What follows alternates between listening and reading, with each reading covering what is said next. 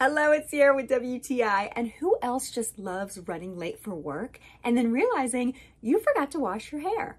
yeah, not so much. But now with Batiste dry shampoo, my hair goes from oily and flat to revitalized, luscious locks in seconds. I love that this dry shampoo doesn't leave a white cast on my hair and it's great for all hair colors. It doesn't weigh it down and make it feel sticky.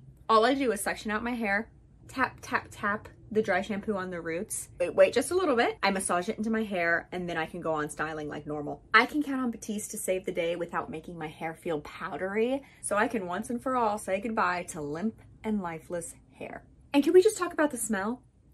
It's like a breath of fresh air. It's not overpowering, just the right touch of freshness that keeps me feeling fabulous. I've gotten so many compliments I kid you not, on the perfume that I'm wearing, but I know full well it's literally just Batiste dry shampoo.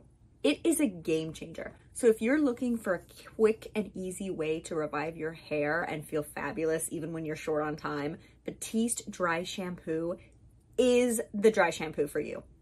And that's my point of view.